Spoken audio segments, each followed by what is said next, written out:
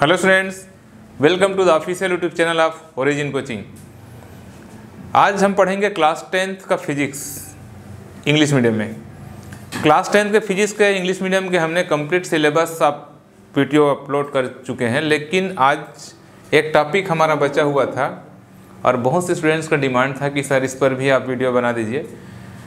तो ये हम आज इसके लास्ट टॉपिक पर डिस्कस करेंगे। हमारा चैप्टर है human eye and the colourful world colourful world. तो ये बहुत छोटा सा चैप्टर है थियोरटिकल पोर्सन है, और ह्यूमन आई का जनरल इंट्रोडक्शन है। तो हम इसमें आज पढ़ेंगे ह्यूमन आई तीन टॉपिक फोर टॉपिक्स हैं इसमें जो आपके एग्ज़ाम में आ सकते हैं। First is introduction of human eyes and its defects उसमें कौन कौन से डिफेक्ट्स होते हैं और कैसे हम उसको रिमूव करते हैं मिनिमाइज करते हैं। Second is colourful world means prism dispersion of light light का डिस्पर्सन पढ़ेंगे। And third is scattering and rainbow scattering और रेनबो ये छोटा सा टॉपिक है। तो चलिए हम स्टार्ट करते हैं अपना टॉपिक और ये देखिए ह्यूमन आई कुछ टॉपिक है जिनको मैं आपको फिगर से ही आपको एक्सप्लेन कर रहा हूँ। ये ह्यूमन आई का आप यहाँ पर फिगर देख रहे हैं बोर्ड में। और ह्यूमन आई के जो पार्ट्स हैं, आपको इसको एग्ज़ाम के लिए प्रिपेयर करना है। तो आपको ये फिगर बनाने का प्रैक्टिस करना है। और इनके पार्ट्स के name name of the parts और उसके वर्किंग को क्या काम करते हैं ओके देखिए, यहाँ पर सबसे इंपॉर्टेंट बात यह है कि आप ध्यान रखना कि ह्यूमन आई जो होता है, इसमें जो हम लेंस यूज़ करते हैं, या लेंस होता है ना? यूज़ नहीं करते तो गार्ड गिफ्टेड है। ह्यूमन आई ये बहुत अद्भुत चीज़ है हमारे ह्यूमन बॉडी का इतना इंपॉर्टेंट कुछ स्पेशल बातें मैं आपसे इसको पढ़ाने के साथ साथ शेयर करूँगा। पहली बात ये ध्यान रखना कि इसमें जो लेंस होता है, ये जो लेंस लगा होता है, ये कॉन्वेक्स लेंस होता है। Lens is convex the lens of human eye is convex और इसका सबसे इंपॉर्टेंट प्रॉपर्टी ये है कि ये बर्थ से बर्थ से बर्थ होने से, हमारे डेथ होने तक इसका साइज़ नहीं चेंज होता। पूरे ह्यूमन बॉडी में ओनली वन पार्ट है, जिसका साइज़ लेंस का साइज़ कांस्टेंट होता है। नाखून और बाल तक हमारे ग्रोथ करते हैं, जो कि लिविंग नहीं है। उसके बाद इसको नेचर ने ऐसा बनाया कि कितना बैलेंस है नेचर के कॉन्सेप्ट में आप समझ सकते हो कि बाई द बाई इसके साइज़ को चेंज करता।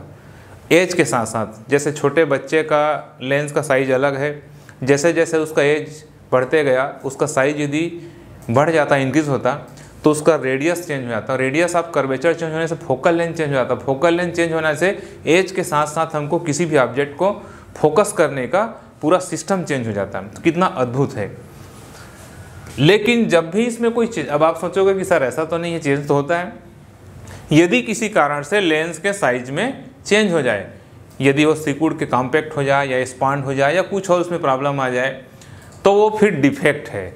उसी को रिमूव करने के लिए फिर हम क्या करते हैं? लेंस यूज़ करते हैं। एडिशनल लेंस यूज़ करते हैं, जो अपन गागल लगाते हैं, चश्मा लगाते हैं, वो उसके कारण है। बाकी नेचुरल वे में उसका साइज़ कांस्टेंट होता है। चलिए तो ये लेंस और मैं इस पर आगे आपसे डिस्कस करूँगा। यहाँ पर देखिए, ये जो पार्ट्स आप देख रहे हैं, इसमें सबसे इंपॉर्टेंट स्क्लेरा आप देख रहे हैं, ये पार्ट है आउटर साइड का पार्ट है। इसके बाद जो सबसे इंपॉर्टेंट पार्ट है, ये लेंस के सामने ये ब्लैक कलर का आपको ये ह्यूमन आई में यहाँ पर भी दोनों तरफ़ से इंडिकेट किया हुआ है, देखिए। यहाँ पर मैं आपको इसको हाईलाइट करके बता रहा हूँ। ये वाला पोर्शन आप जो देख रहे हैं ह्यूमन आई में ये। ये वाला जो पोर्शन आप देख रहे हैं, जो ब्लिंकिंग हो रहा है, ये क्या है? प्यूपिल है, जो आप अपने इस मैग्नीफाइंग फिगर में यहाँ पर देख रहे हैं। ये रियल में ह्यूमन आई का फिगर है और उसका इनर पार्ट का यहाँ पर एक्सप्लेनेशन है। ये जो लेंस के सामने ब्लैक कलर का आपको दिखाई दे रहा है, वो क्या है? प्यूपिल है। ठीक है? इसके बाद यहाँ पर देखो, इस, जिसमें वो कनेक्टेड होता है, ये आयरिस। आयरिस है। आयरिस को भी डबल एरस आप देख रहे हैं। ये इसका जो ब्लू कलर का आपको दिखाई दे रहा है, वो आयरिस है, जो अपने आप, आँख में आप देखते हैं कि बीच में ब्लैक इस पार्ट के चारों तरफ़ जो वाइट ब्लूइस कलर का जो होता है, वो आयरिस है। इसके बाद देखो, ये कार्निया। ये कार्निया है, जिस पर ये अटैच होता है। क्लियर एक्वस हुमर होता है उसके अंदर में। सस्पेंसरी लिगामेंट होता है, जो दोनों तरफ़ से उसको अटैच करके रखता है। क्लियर इसके बाद आप इसके बैक साइड में देखो। स्क्लेरिया जो उसका आउटर सरफेस होता है, जो कवर करके उसको रखता है। ठीक है? क्रोइड रेटिना सबसे इंपॉर्टेंट पार्ट है। रेटिना एक ऐसा पार्ट है जहाँ पर हमारा इमेज बनता है। अभी मैं आपको इमेज फार्मेशन जब इसका बताऊँगा, ये तो इंट्रोडक्शन है ह्यूमन आई का। इसके बाद fovea optic nerves and central retinal artery and vein clear ये इसके पार्ट हैं। अब आपको इसको विथ फिगर उसको क्या करना है? आपको नेम उसके लिखना है, इसकी आप सबसे पहले प्रैक्टिस कर लोगे। तो ये तो आपके प्रैक्टिस का मैटर है, ज़्यादा कुछ में समझाने का नहीं है। ये आप प्रैक्टिस कर लोगे और ये इंपॉर्टेंट बात ध्यान रखना कि इसमें जो लेंस लगा होता है कॉन्वेक्स लेंस होता है और उसमें ग्रोथ नहीं होता। देखो नेचर ने अलग अलग हम ह्यूमन आई पढ़ रहे हैं, लेकिन थोड़ा सा आपको जनरल नॉलेज बता दूँ कि नेचर ने अलग अलग जितने भी यहाँ पर जो लिविंग ये कहना चाहिए एनिमल्स हैं या फिर जो भी हैं, इनके आई का कंस्ट्रक्शन अलग अलग ढंग से किया है। जैसे एलिफेंट है। एलिफेंट का जो आई में लेंस लगाया गया है, वो मैग्नीफ्लाइंग करके उसको डबल साइज़ में देखता है। जैसे वो सपोज़ सिक्स फीट का लेंथ का किसी ऑब्जेक्ट को देख तो ट्वेल्व फीट का दिखेगा। ठीक है? जैसे डॉग में कलर ब्लाइंडनेस होता है, ऐसे बहुत से अलग अलग एनिमल्स के जो नेचर है, वो है अलग अलग होता है। हम यहाँ पर पढ़े ह्यूमन आई। तो ये फिगर आप अच्छे से प्रैक्टिस कर लोगे। अब हम देखते हैं इसके डिफेक्ट्स। नेक्स्ट, डिफेक्ट्स देखो। तो इसमें थ्री डिफेक्ट्स होते हैं। First is myopia that is also known as short sightedness ठीक है? तो ये थ्री टाइप्स के डिफेक्ट्स हम यहाँ पर पढ़ेंगे। यहाँ पर फिगर में आपको बना हुआ है, लेकिन उसको मैं आपको फिर से अलग से एक्सप्लेन करके बताता हूँ। ये फिगर की भी आपको प्रैक्टिस करना है। शार्ट साइटेडनेस का मतलब होता है, जब हम शार्ट नज़दीक के चीज़ों को अच्छे से देख पाते हैं। जनरली इसमें स्टूडेंट कंफ्यूज हो जाते हैं। शार्ट साइटेडनेस मतलब उनको लगता है कि पास का नहीं दिखता। ऐसा नहीं है। पास का दिखता है, जो साइटेडनेस है वही दिखता है। क्लियर तो ध्यान में रखने, यहाँ कंफ्यूज मत होना। तो शार्ट साइटेडनेस में यहाँ पर आप देखो, ये हमको पास का इसमें दिखाई देता है ओके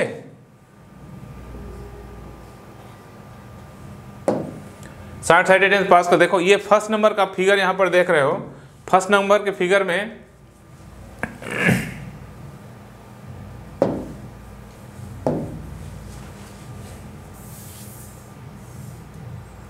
इस फ़र्स्ट नंबर के फिगर में आप देखो।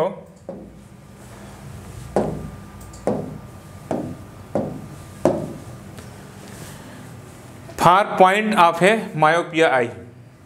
ये क्या है? हेल्दी आई का फिगर है।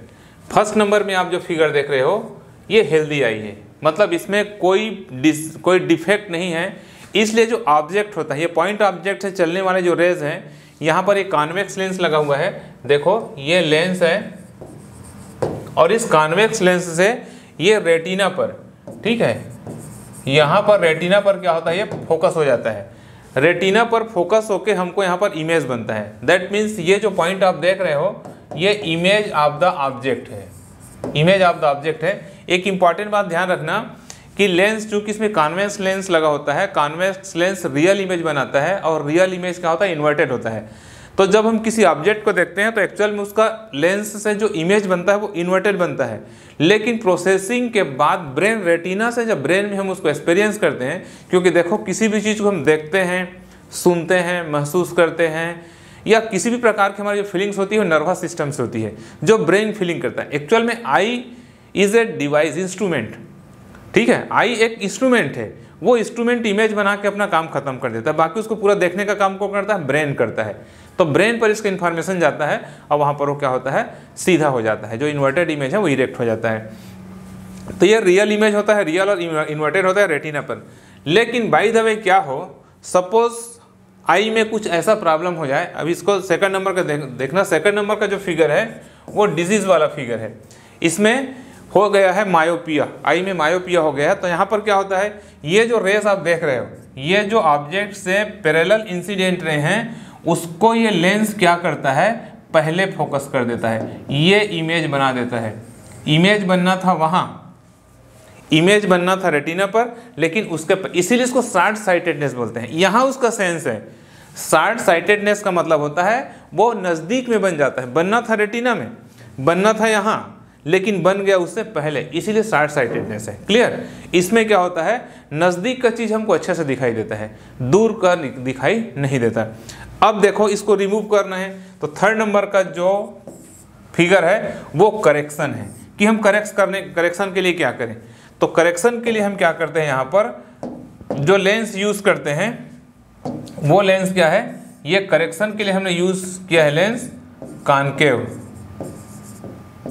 the lens use for correction is concave lens भाई, क्योंकि कान क्या concave lens is divergent lens क्या होता है? यहाँ जो इमेज बना है, उस इमेज को हमको क्या करना है? फैलाना है, दूर करना है। कहाँ ले जाना है? रेटिना में ले जाना है। क्लियर क्योंकि आप हेल्दी आई के कंडीशन में देखो हेल्दी आई में इमेज को यहाँ बनना था, अब वो यहाँ बन गया। तो हमको क्या करना है? रेस को डाइवर्स करना है। और डाइवर्स करने का काम कौन करता है? कानकेव लेंस करता है। इसीलिए हमने इसके करेक्शन के लिए कौन सा लेंस यूज़ किया? कानकेव यूज़ किया। क्लियर तो एक इंपॉर्टेंट बात है कि to remove myopia we use concave lens exam में आता है कौन सा मल्टीपल चॉइस में पूछ सकता है और कंप्लीट जैसे ये आपको टू मार्क्स का थ्री मार्क्स का आया तो आपको पूरे थ्री फिगर बना के एक्सप्लेन करना है। First healthy eye second is myopic eye and third is correction of the myopia okay ये होता है मायोपिया ओके चले आगे फिर। नाउ नेक्स्ट इज़ नेक्स्ट आप यहाँ पर देख रहे हो hypermetropia that means long sightedness long sightedness का मतलब दूर का हमको अच्छा दिखता है। जो दूर का ऑब्जेक्ट होता है, वो हमको अच्छा दिखता है, साफ़ दिखता है और नज़दीक का हम नहीं देख पाते। जैसे हमको पढ़ना है, कुछ बुक पढ़ना है, हम नहीं पढ़ पाते।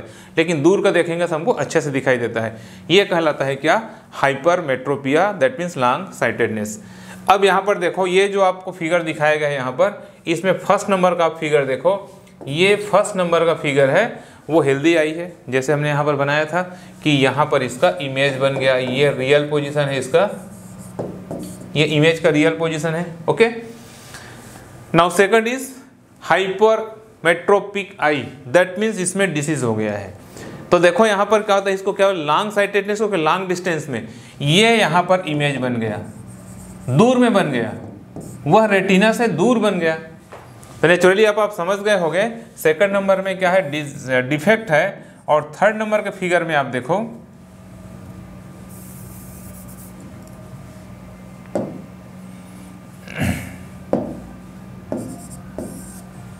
यहाँ पर देखो, हमको मालूम है कि ये जो रेज हैं, ये जो डाटेड कलर से रेड कलर से डाटेड देख रहे हो, ये जब लेंस में यहाँ पर पहुँचेगा, ये लेंस तो ये कॉन्वेक्स लेंस है, यहाँ पर जो हम लेंस यूज़ कर रहे हैं ये कौन सा लेंस है? Convex.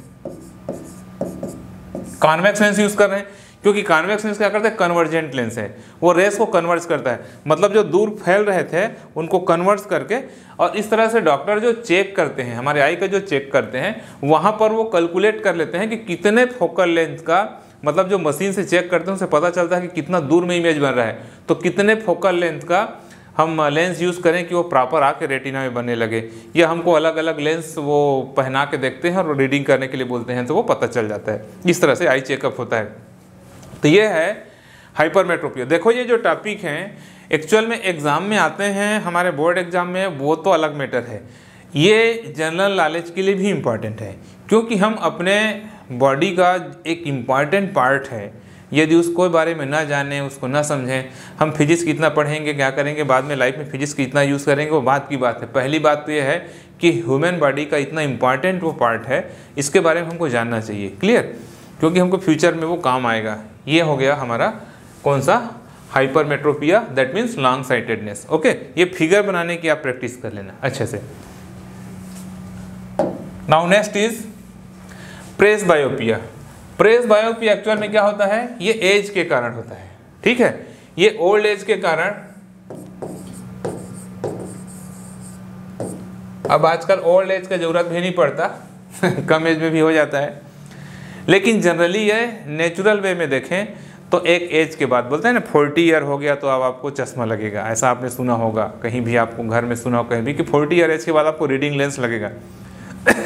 That is presbyopia कि नेचुरली हेल्थ के साथ साथ उसके जो मसल्स हैं, हमारे आई के, वो सब क्या होते हैं एज के साथ साथ उसमें थोड़ा सा चेंज आने लगता है और इस कारण से ये प्रॉब्लम आता है। तो यहाँ पर आप देख रहे हो इस फिगर में, ये हेल्दी आई है फ़र्स्ट नंबर में देखो, इसमें कोई डिज़ीज़ नहीं है। डिज़ीज़ नहीं मतलब ये रेटिना पर इमेज बना, ये तो आपको तीनों में कॉमन फिगर है ये। क्योंकि कॉमन फिगर हेल्दी आई का तो क्या होगा, जिसमें कोई डिफेक्ट नहीं है, उसका इमेज तो रेटिना पर ही बनेगा। लेकिन इसमें क्या होता है प्रेस बायोपी का ये होता है प्रेस बायोपिया का पोजीशन बन जाता है इसमें। ठीक है? नियर पॉइंट आप है प्रेस बायोपिया। यहाँ पर क्या होता है? नियर पॉइंट पर होता है प्रेस बायोपिया के। इसके बाद प्रेस बायोपिया का कंडीशन जब बनता है तो रेटिना से बाहर बनने लगता है और कभी रेटिना के अंदर भी बनने लगता है। इसमें दोनों तरह के कंडीशन होते हैं। और करेक्शन के लिए क्या बोलते हैं? इसमें जो लेंस लगाया जाता है, ध्यान में रखना, ये क्या है? बाई फोकल लेंथ है। Bifocal length bifocal length use करते हैं अपन। बाईफोकल लेंथ मतलब क्या होता है? जिसमें कानकेव्स कानकेव कानवेक्स कानकेवो कानकेवो कानवेक्स जो होता है डबल फोकल लेंथ या रीडिंग लेंस नीचे अलग से लगाया जाता है और ऊपर में अलग लेंस लगाया जाता है। तो इस तरह से क्या करता है? बाईफोकल लेंस का यूज़ करते हैं इसको यूज़ करने के लिए। मतलब कानवेक्स कानकेव का मिक्स भी हो सकता है। कानवेक्स कानकेव का मिक्स हो सकता है। डबल फोकल होता है। अपर अप साइड का अपर का नीचे का अलग और ऊपर का अलग। जिसके नीचे हम रीडिंग लेंस बोलते हैं। ये कहलाता है प्रेस बायोपिया क्लियर तो ये हो गया ह्यूमन आई और उससे related defects and its correction कि उसको करेक्ट कैसे कहते हैं? ये इस चैप्टर का बहुत इंपॉर्टेंट टॉपिक है। अब हम स्टार्ट करते हैं इस चैप्टर में। नेक्स्ट टॉपिक है, वो है प्रिज्म मतलब dispersion of light colourful world next is dispersion of light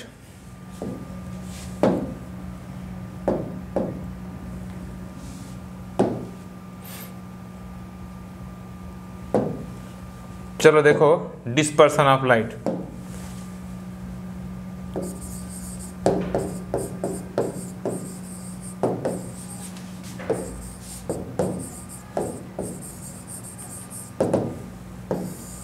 dispersion of light ये क्या है? डिस्पर्सन ऑफ़ लाइट का मतलब है कि the distribution of seven colours of the light light में जो सेवन कलर्स होते हैं, ठीक है? लाइट में जो सेवन कलर्स होते हैं ये डिस्पर्सन कहलाता है। एक्चुअल में लाइट में सेवन कलर्स होते हैं, ये आपको पता है। और लाइट में सेवन कलर्स होते हैं, ये सबसे पहले जिस साइंटिस्ट ने बताया, वो साइंटिस्ट कौन है?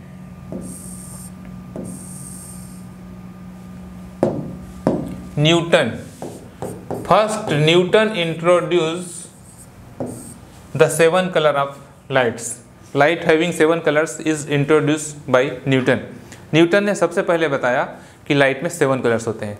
कैसे बताया न्यूटन को, कैसे पता चला? एक्चुअल में न्यूटन का ये जो सेवन कलर्स में बताने का इवेंट है, वो एक्सीडेंटल है। न्यूटन ने जितने भी रूल्स दिए नेचर को स्टडी करके दिए। इसीलिए बोला जाता है scientist of the nature Newton is scientist of the nature वो नेचर के साइंटिस्ट हैं। जितना भी रूल दिया, चाहे ग्रेविटेशन हो एक्शन रिएक्शन हो, या सेवन कलर्स का लाइट हो, चाहे साउंड हो, सब नेचर से रिलेटेड है उनका रूल्स है। तो न्यूटन एक दिन अपने लेबोरेटरी में एक्सपेरिमेंट कर रहे थे और विंडो के पास बैठे, कुछ वर्क कर रहे थे। वहाँ एक ग्लास का एक टुकड़ा अटेंडम शेप में कटा हुआ परफेक्ट प्रिज्म नहीं था, वो रखा हुआ था और विंडो से कुछ लाइट रेस इंसिडेंट होके उस ग्लास स्लेब से पार होके बाहर निकल रहे थे और उनके नोटबुक पर कुछ कलरफुल स्ट्रिप्स बन रहे थे, जैसे जनरली आपने देखा होगा। तो न्यूटन का उधर ध्यान गया और उन्होंने सोचा कि ये कलरफुल स्ट्रिप्स क्यों बन रहे हैं जब लाइट इसमें से इंसिडेंट हो रहा है। तो उन्होंने फिर उसका डीप स्टडी किया और वहीं से उन्होंने डिक्लेयर किया कि लाइट में सेवन कलर्स होते हैं ओके तो ये है लाइट में सेवन कलर्स होना। And and what is dispersion of light the dispersion of the light means the distribution of its component seven component seven colours is called dispersion और dispersion के लिए जो हम डिवाइस यूज़ करते हैं वो है प्रिज्म। देखो, इस चैप्टर को आप ट्वेल्थ क्लास ट्वेल्थ क्लास में बहुत डिटेल में पढ़ोगे, बहुत ज़्यादा डिटेल में। इस क्लास में आपका ओनली इंट्रोडक्शन है। कोई डेरिवेशन नहीं, कोई कैलकुलेशन नहीं, कोई फार्मूला कुछ नहीं इस क्लास में। यहाँ ओनली इंट्रोडक्शन है। तो मैं आपको बता रहा हूँ प्रिज्म, और हम यहाँ पर पढ़ते हैं प्रिज्म के बारे में कि प्रिज्म में एक्चुअल में डिस्पर्सन होता कैसे है। तो सबसे पहले हम देख रहे हैं कि भाई एक्चुअल में प्रिज्म हेलो स्टूडेंट्स आप लोगों के लिए एक बेस्ट अपॉर्चुनिटी अन लेके आया है। महाराष्ट्र स्टेट बोर्ड के क्लास नाइन्थ और टेंथ के स्टूडेंट्स के लिए एक कोर्स, जिसमें आपके सभी विषय की पढ़ाई होगी। और सबसे बड़ी बात यह है कि इस कोर्स का जो फ़ी है टू थाउज़ेंड फाइव हंड्रेड वो सिर्फ़ आपको नाइन्टी नाइन रुपीज़ में मिलेगा। इसके लिए आपको क्या करना होगा? इसके लिए आपको हमारा रेफरल कोड यूज़ करना होगा, जो है जितेंद्र सर लाइव। ये कोड आप यूज़ करेंगे तो ट्वेंटी फाइव हंड्रेड का कोर्स आपको सिर्फ़ नाइन्टी नाइन रुपीज़ में मिलेगा। देखिए, इस कोर्स की जो सबसे बड़ी विशेषता है, वो ये है कि आपको ये कोर्स तीन लैंग्वेज में प्रोवाइड किया जाएगा, इंग्लिश में, हिंदी में और साथ ही मराठी लैंग्वेज में भी। महाराष्ट्र के टॉप एजुकेटर्स आपको टीच करेंगे और आपको बेस्ट टीचिंग फैकल्टी मिलेगा फ्री टेस्ट सीरीज़ मिलेगा रिवीजन बैचेस मिलेंगे क्रैश कोर्स होगा और सबसे अच्छी बात, आपके डाउट क्लियरिंग सेशन के लिए लाइव डाउट सॉल्विंग सेशन होगा। और आपको प्रीवियस ईयर के महाराष्ट्र बोर्ड के क्वेश्चन पेपर भी तैयार कराए जाएँगे। अब आपको करना क्या है, आपको हमारे वीडियो के नीचे डिस्क्रिप्शन में लिंक मिलेगा और आप वहाँ पर अन अकेडमी के ऐप डाउनलोड करके इस लिंक के थ्रू आप इसका सब्सक्रिप्शन ले सकते हैं, जो आपके लिए बहुत बेस्ट है। ओके थैंक यू तो देखिए, प्रिज्म में क्या है, एक थ्री डायमेंशन फिगर है, लेकिन हम थ्री डायमेंशन नहीं बनाते, जब रे डायग्राम बनाते हैं तो टू डायमेंशन ही बनाते हैं। लेकिन यहाँ पर मैं इसका सरफेस आपको बता दूँ कि किस तरह से अपन प्रिज्म बनाते हैं, ठीक है? चलिए, यहाँ प्रिज्म अपन कंस्ट्रक्शन कर लें।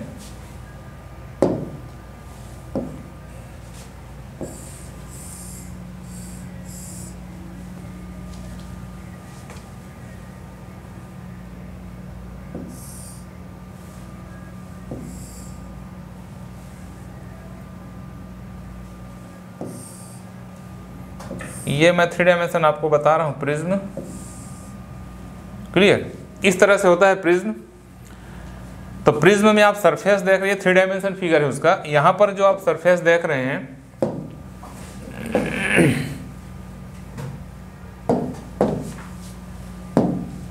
ये सरफेस ये एक रेक्टेंगल सरफेस है, देख रहे हैं आप रेक्टेंगुलर सरफेस है। सेकंड नंबर में भी आप रेक्टेंगुलर सरफेस मैं यहाँ से आपको बता दूँ।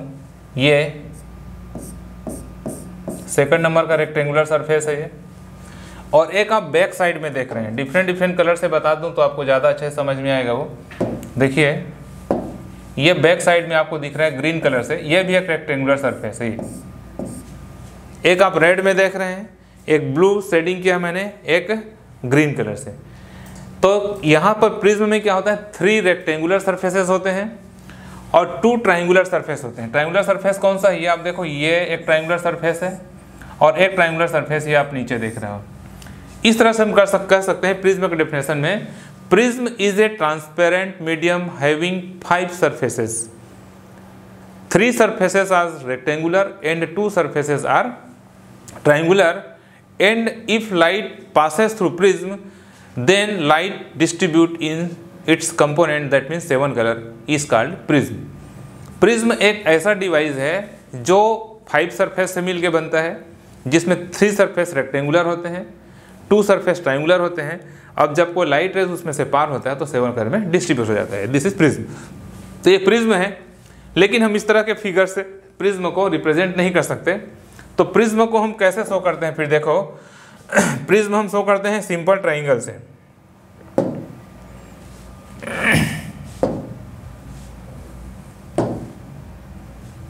ये प्रिज्म है सपोज़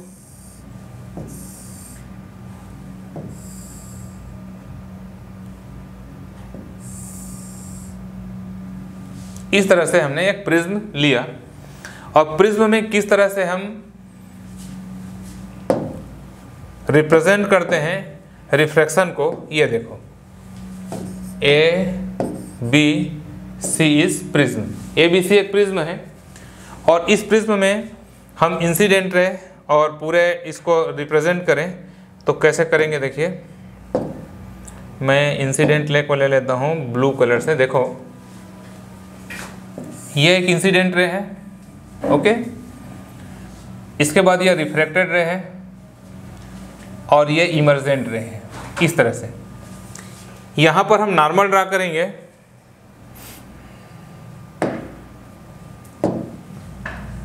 तो सपोज़ हमने यहाँ पर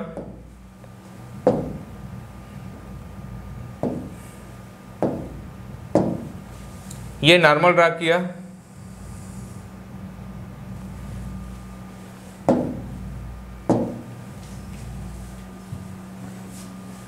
ये एक नॉर्मल है और यहाँ पर हमने एक नॉर्मल ड्रा किया।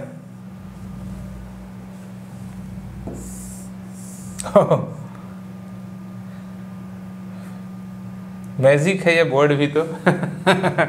उतना पार्ट अलग हो जाता है। अभी मेरे को बहुत से फ़ंक्शन इसके लर्न करने पड़ेंगे। चलिए ठीक है। ये डॉटेड लाइन मुझे ड्रा करना है।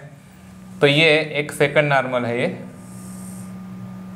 क्लियर इसको हम कलर दे सकते हैं। इसको भी हमने यही कलर दे दिया। ओके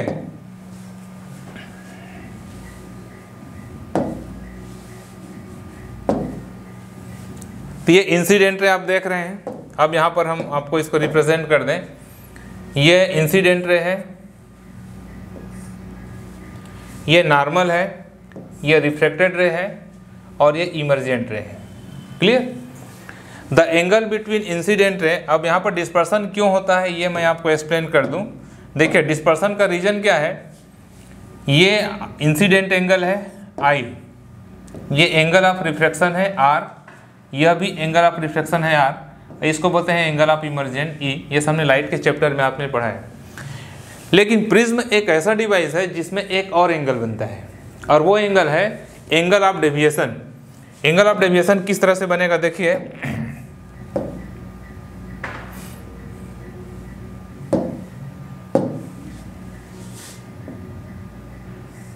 इस रे को यदि मैं आगे बढ़ा दूँ और ये वाले रे को यदि मैं पीछे बढ़ा दूँ, इस तरह से। तो इंसिडेंट रे को आगे बढ़ाने पर और रिफ्लेक्टेड रे को पीछे बढ़ाने पर। इंसिडेंट रे को आगे बढ़ा दिया और रिफ्रैक्टेड रे को पीछे बढ़ा दिया। तो दोनों का जो इंटरसेक्शन पॉइंट है, वो डेल कहलाता है, ये कहलाता है एंगल ऑफ़ डेविएशन ये एंगल ऑफ़ डेविएशन है और लाइट में जो सेवन कलर्स होते हैं, वो सबके एंगल ऑफ़ डेविएशन क्या होते हैं? डिफरेंट डिफरेंट होते हैं। तो angle of deviation different different होने के कारण क्या होता है? यहाँ से जब हम लाइट रेस को बाहर करेंगे लाइट रेस जब यहाँ से बाहर जाएगा मतलब इमरजेंट होगा तो यहाँ पर ये अलग एंगल ऑफ़ डेविएशन बनाएगा, एक रे और अलग से एंगल ऑफ़ डेविएशन बनाएगा, एक रे और अलग से एंगल ऑफ़ डेविएशन बनाएगा। तो यहाँ पर अलग अलग एंगल ऑफ़ डेविएशन बनाने के लिए, क्योंकि सेवन सेवन इमरजेंट रे चाहिए। क्यों सेवन इमरजेंट रे चाहिए? क्योंकि सेवन एंगल ऑफ़ डेविएशन उनको पीछे जाके बनाना है। तो सेवन कलर्स होने के कारण सबके एंगल ऑफ़ डेविएशन अलग अलग होते हैं। इस तरह से प्रिज्म जब लाइट इससे बाहर होता है तो वो सेवन कलर में डिस्ट्रीब्यूट हो जाता है। यहाँ पर एक इंपॉर्टेंट बात ध्यान रखना आप, वो ये है कि वायलेट कलर का जो एंगल ऑफ़ डेविएशन होता है, जिसको हम डेल भी से रिप्रेजेंट करते हैं, angle of deviation of violet colour is maximum and angle of deviation of red colour is minimum ये ध्यान रखना। ये मैक्सिमम होता है, ये है मैक्सिमम और ये है मिनिमम इसलिए जब लाइट प्रिज्म से बाहर निकलता है तो सबसे नीचे में जो कलर होता है, सबसे नीचे में कलर होता है, वो वायलेट कलर होता है और सबसे ऊपर में जो कलर होता है, वो रेड कलर होता है। ये ध्यान रखना। क्यों? क्योंकि वायलेट कलर का डेविएशन सबसे ज़्यादा होता है और रेड कलर का डेविएशन सबसे कम होता है। ये इंपॉर्टेंट बात है। तो ये है आपका distribution of light in seven colours ये तो बस इतना ही नॉलेज है आपके क्लास में। बाकी ट्वेल्थ क्लास में प्रिज्म पर पूरा एक चैप्टर है डिस्पर्सन ऑफ़ लाइट पर। तो यहाँ पर आपको सिर्फ़ दो तीन इंपॉर्टेंट बात जानना है कि what is prism clear and what is angle of deviation angle of deviation is the angle between incident ray and emergent ray what is the cause of dispersion because the angle of deviation of seven colours are different are their wave length is also different wave length different होता है, इसलिए उसका angle of deviation different होता है। ठीक है? तो light के सेवन कलर्स में होने के ये रीजन है। तो ये प्रिज्म का आप इसमें फिगर ड्रा कर लेना, ये समझ लेना, ये है प्रिज्म इसके बाद इसमें हमको पढ़ना है scattering clear scattering of light ये इंपॉर्टेंट टॉपिक है और आपके एग्ज़ाम में ये टॉपिक आ सकता है। स्केटरिंग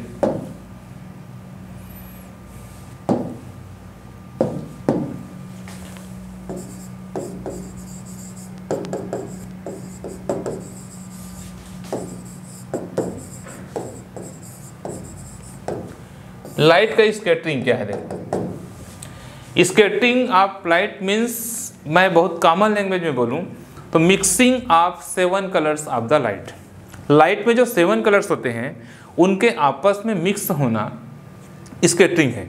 एक्चुअल में होता क्या है? स्केटरिंग का सबसे पता देखो स्केटरिंग का हमारे इंडियन साइंटिस्ट से बहुत ज़्यादा क्लोज रिलेशन है इसलिए इसलिए भी हमारे लिए बहुत इंपॉर्टेंट है कि अभी तक इंडिया में ओनली वन साइंटिस्ट को फिजिक्स में नोबल प्राइज़ मिला है। किसको? Doctor C V Raman doctor C V Raman को नोबल प्राइज़ मिला और किसके लिए मिला? स्केटरिंग के लिए। वो सीप में ट्रेवलिंग कर रहे थे सीप में वो जा रहे थे, कहीं फॉरेन जा रहे थे। तो डेक में बैठे, वो देख रहे थे सी के कलर को तो उनको ब्लू कलर दिखा स्काई भी ब्लू दिखा। तो उन्होंने वही सोचना स्टार्ट किया कि सी और स्काई ब्लू ही क्यों दिखते हैं? और वहाँ से सोचते सोचते इस रिज़ल्ट पर पहुँचे स्केटरिंग पर। तो स्केटरिंग पर उनका बड़ा एक्सपेरिमेंट है, उसके लिए उनको नोबल प्राइज़ मिला। तो स्केटरिंग का जो बेसिक फंडामेंटल है, हमारे Indian scientist doctor C B Raman से रिलेटेड है, और इसके उनको Nobel prize only one person अभी तक केवल यही पर्सन है। तो स्केटरिंग का मतलब होता है mixing up of seven colours of the light ये कैसे होता है देखो।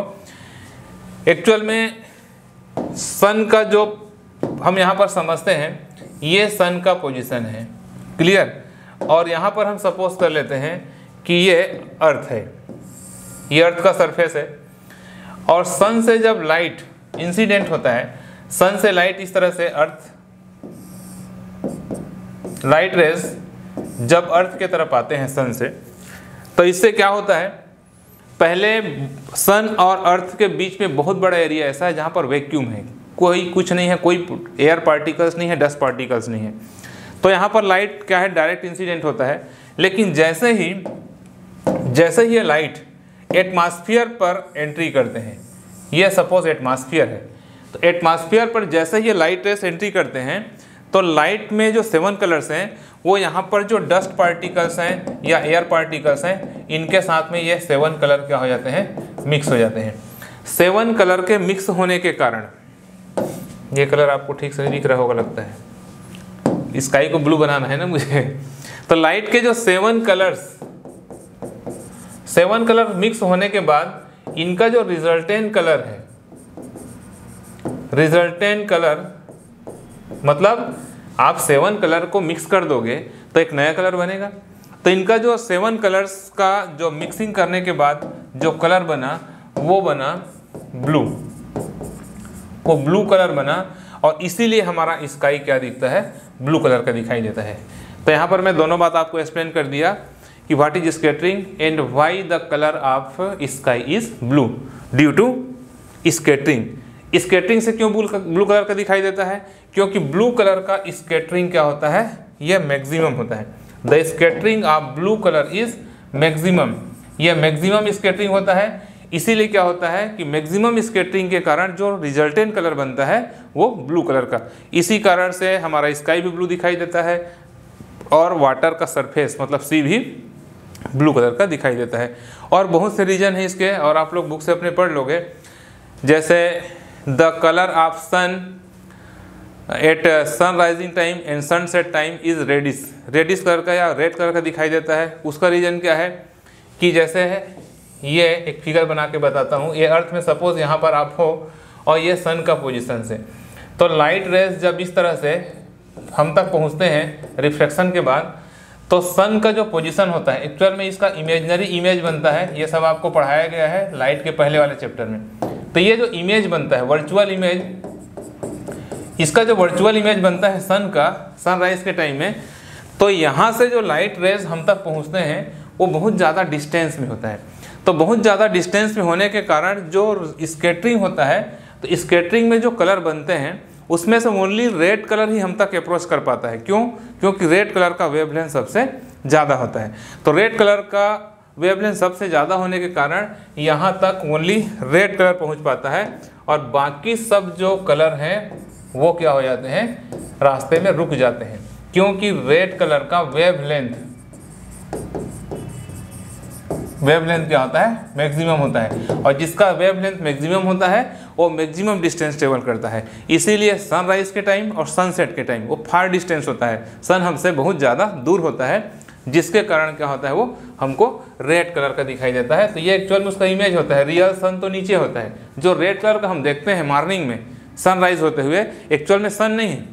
वो सन का इमेज है। और रेड क्यों दिखा? क्योंकि बहुत ज़्यादा दूर होने के कारण after scattering only red colour will be approach वो केवल अप्रोच कर पाएगा। दूसरा कोई कर वहाँ तक नहीं पहुँच पाएगा। इसलिए वो रेड का सेम होता है सनसेट टाइम में। तो ये कुछ एग्ज़ाम्पल हैं। खासकर सबसे इंपॉर्टेंट एग्ज़ाम्पल है कि colour of sky is blue why due to scattering okay तो ये स्केटरिंग का इंट्रोडक्शन है और इसके बाद थोड़ा सा हमको पढ़ना है इस चैप्टर में रेनबो ये भी कलरफुल वर्ड का मैटर है रेनबो क्लियर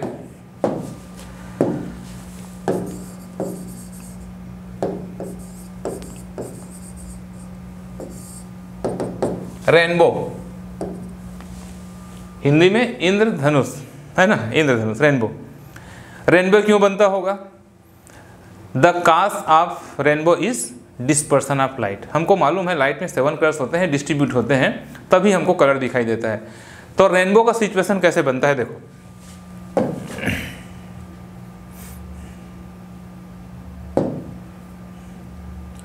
सपोज़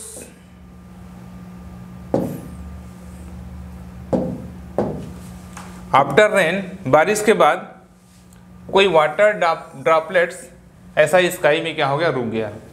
ये वाटर ड्रॉपलेट्स है, पानी का बूंद है।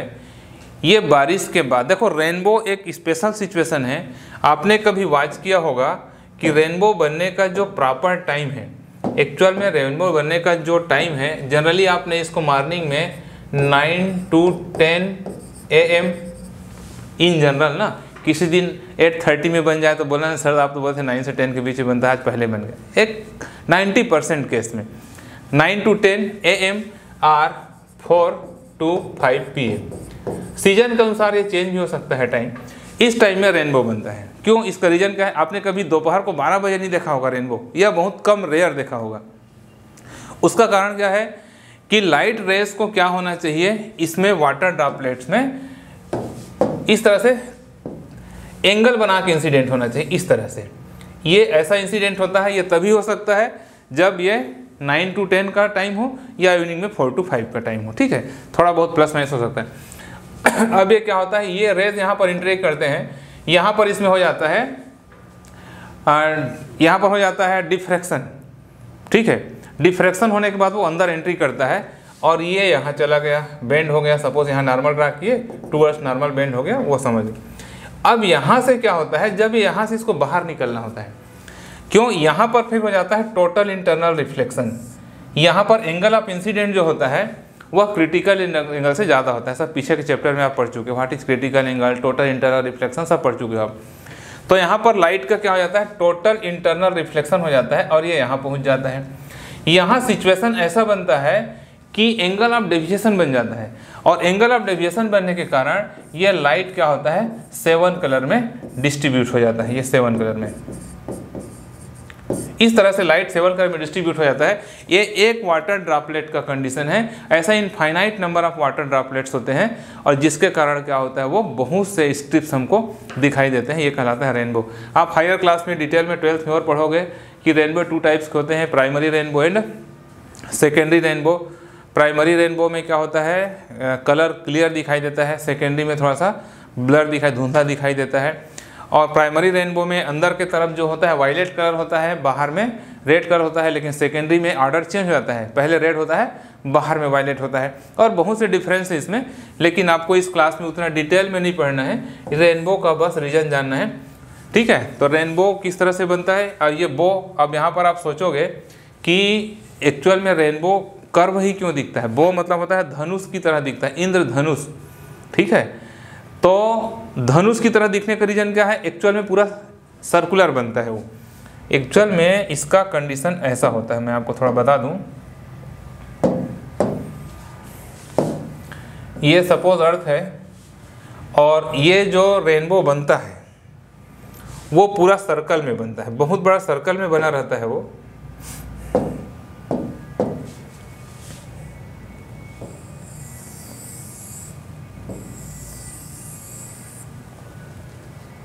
कलर नहीं दिखा क्या आपको? चलो।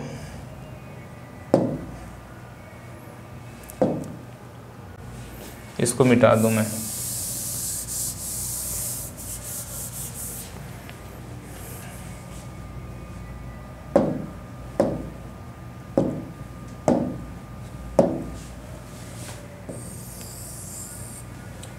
ये रेनबो पूरा सर्कल में बना हुआ है। अब हम यहाँ पर हैं। हमारा पोजीशन है कि हम क्या हैं, यहाँ पर हैं। तो यहाँ पर हमारा विजिबल एरिया कितना होगा? इतना होगा, ज़्यादा से ज़्यादा। तो हम उस पूरा सर्कल के एक स्मॉल आर्क को ही देख पाते हैं। इसलिए हमको लगता है कि ऐसा बो बना हुआ है, ऐसा। लेकिन वो इधर भी होता है और इधर भी होता है। ठीक है, एक बार मेरे ख्याल से किसी कॉम्पिटेटिव एग्ज़ाम में क्वेश्चन आया था कि यदि आपको पूरे बो को देखना है सर्कल फॉर्म में तो आपको कहाँ पर रहना पड़ेगा? तो अर्थ से आप कहीं से नहीं देख सकते। उसके लिए आपको स्पेस में जाना एस्ट्रोनॉट्स देख सकते हैं। कहाँ? ये अर्थ का सेंटर है। और अर्थ के सेंटर के बाहर आ जाएँ आप। जहाँ वहाँ जहाँ पर मैंने यहाँ पर पेन को रखा है, यहाँ से देखेंगे। जैसे मैं यहाँ खड़ा हूँ, मुझे सर्कल यहाँ दिख रहा है। लेकिन मैं बोर्ड के अंदर घुस जाऊँ। तो मेरे को छोटा सा पार्ट दिखेगा। आप समझ गए होंगे। तो एक्चुअल में वो कंप्लीट सर्कल में बना रहता है, लेकिन हम उसके एक स्मॉल आर्क को देख पाते हैं। अर्थ के जितना विजिबल एरिया हमारे अप्रोच में होता है, उतना देख पाते हैं। तो ये रेनबो है। एक बार कॉम्पिटेटिव एग्ज़ाम में आया था कि किस पोजीशन पर रेनबो हमको कंप्लीट दिखाई देगा। तो at the any point of the axis of the earth earth का जो एक्सिस है, उसके किसी पॉइंट पर आप रहेंगे तो पूरा आप कंप्लीट बो को देख पाएँगे। एस्ट्रोनॉट्स लोग ऐसा कई बार देखते हैं अर्थ से। जब ऊपर होते हैं, पूरा अर्थ उनको दिखाई देते रहता है, उस कंडीशन में उसको देख पाते हैं। रिंग की तरह क्लियर ये है रेनबो तो बस यही है आपका एक छोटा सा चैप्टर ठीक है? मैं तो चैप्टर बहुत दिन तक पेंडिंग में रखा। मैं समझता था जनरल नॉलेज टाइप का क्वेश्चन स्टूडेंट्स इसको पढ़ लेंगे, ज़्यादा दिक्कत नहीं होगा। लेकिन कई बार कई स्टूडेंट्स ने कहा कि, सर ह्यूमन आई पढ़ा दो कलरफुल तो ये था हमारा कलरफुल वर्ड ठीक? रंगीन दुनिया। देख लिया आप लोगों ने रंगीन दुनिया। ट्वेल्थ क्लास में जब आप जाके फिजिक्स पढ़ेंगे तो इस कलरफुल वर्ड को बहुत बड़े पोर्शन में पढ़ेंगे, उस पूरे यूनिट का नाम रहेगा डिस्पर्सन ऑफ़ लाइट तब तक आप बेसिक अच्छे से क्लियर करके रखिए ओके थैंक यू